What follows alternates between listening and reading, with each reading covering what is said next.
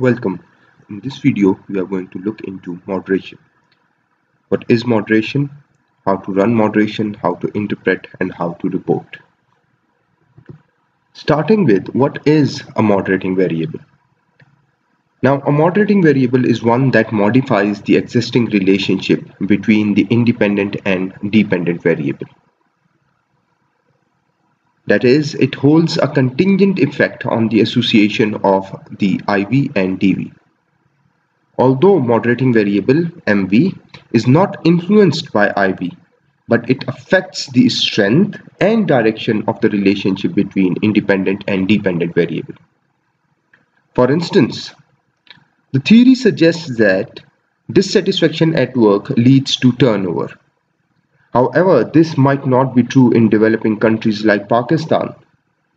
The reason could be attributed to a third variable, which is job opportunities. So what we expect is that if you are dissatisfied at work, this could or this should rather lead to turnover. You should leave your job. But this seldom happens. Why? Because there is a third variable that influences this relationship and that third variable is referred to as job opportunities. Now in this particular case job opportunities is modifying the ex existing expected relationship between IV that is dissatisfaction at work and DV the turnover. As naturally if someone is dissatisfied at work he she would think of moving to some other job. So we would say that job opportunities is a moderating variable so now what is moderation? When moderation is present, the strength or even the direction of relationship between two constructs depend upon the third variable, which is the moderating variable.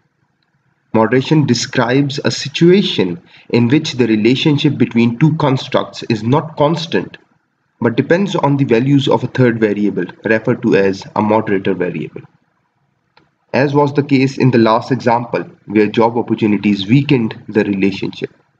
In other words, the nature of relationship differs depending on the values of the third variable. This is how we can represent the relationship of moderating variable between independent variable and dependent variable through a diagrammatic view. This is our moderating variable influencing the expected or already present relationship between independent variable and dependent variable. Now for the sake of this video, we've got an example. What we are going to do is we look into how servant leadership affects role conflict and whether or not this relationship is modified, strengthened or weakened by community hostility. So what we expect is that there is a negative relationship between servant leadership, which is defined by these seven indicators. Let's rename it. And its effect on role conflict, which we expect to be negative. So a higher servant leadership would lead to lower role conflict.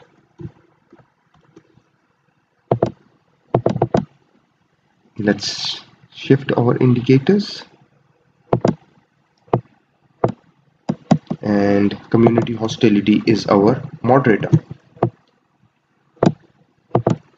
So we rename it ch now in order to add moderating variable let's hide the indicators for now. Now in order to add the moderating variable let's first develop these relationships. So servant leadership affecting role conflict. Now in in moderation the moderator is not affected by the independent variable. Now in order to define moderation in SmartPLS what you need to do is you need to link your moderator to the dependent variable. Now this is the first step. The next step is click on or right click on your dependent variable and then add moderating effect. It will ask you which one is your moderator. So ch is our moderator. Which one is your independent variable? Servant leadership is our independent variable. Let's go for product indicator and leave the rest as is and press OK. Now you have added the moderating variable. So what do you see in here? If we press and open it what you see is the interaction of the moderator with the independent variable. So each one of the SL items interact with each one of the CH items. And same is the case uh, with the CH so if we look in there are quite a few variables or indicators. Let's rename the moderating variable is mod under dash or let's name it underscore sl dash underscore rc okay. Now in order to run this let's go to let's run. And we are interested in path. Let's start. Here are our results. Now if we see well yes there is significant moderating effect. Then there is a negative relationship between servant leadership and role conflict and we are not interested in this. Okay so there is significant moderation. So now how do we interpret this moderation? To do this let's go back to our model and let's see the slope analysis okay let's start. And what we are interested in is this simple slope analysis. Now if we look here what we've got here we've got three things. This negative line represents the relationship between servant leadership and role conflict at lower community hostility.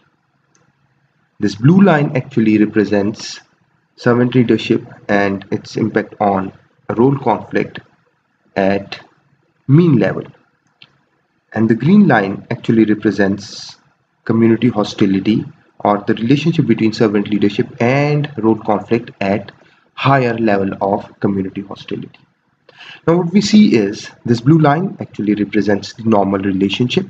So a lower servant leadership score would mean higher conflict and a higher servant leadership score would mean lower conflict. Now if we look at this green line here, this is pretty straight line. So this means that at a higher community hostility, the relationship is actually not as as it seems even. But if we look at this other red line, so at lower community hostility, the impact of servant leadership or the negative impact of servant leadership on the relationship conflict actually stands. So when the community hostility is low, this gives strength to the relationship of servant leadership and role conflict.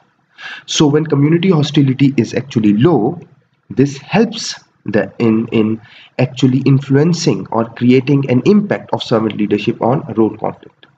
So when community hostility is high, servant leadership actually fails to Im impact role conflict. So this is how you can explain this moderating relationship. Let's copy this chart and we paste it into our Word document for interpretation purposes. Now this is more clear here. We see this line, this green line, this is actually pretty straight. So this shows that at higher community hostility, actual uh, uh, servant leadership actually fails to influence role conflict, which is pretty evident in at mean level or at the negative level.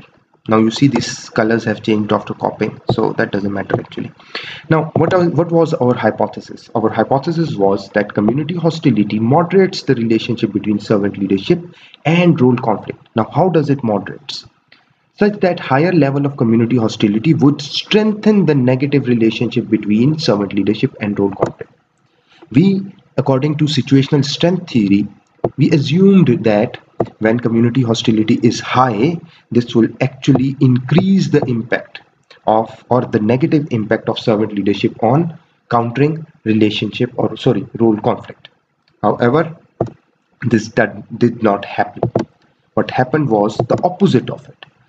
At lower community hostility, servant leadership was more effective in countering the role conflict. Now you can easily interpret the results here. And how you do it?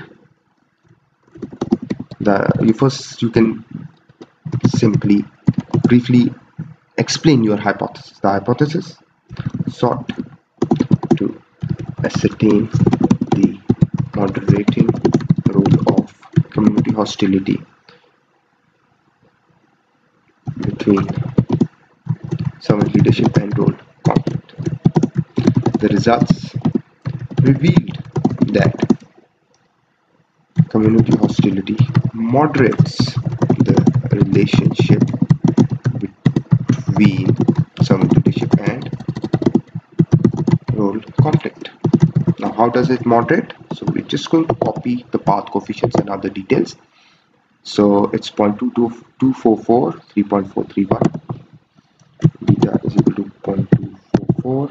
The t value is equal to is the t value is equal to 3.431 p value is less than 0.001 now however the the moderation did not turn out to what was expected. So however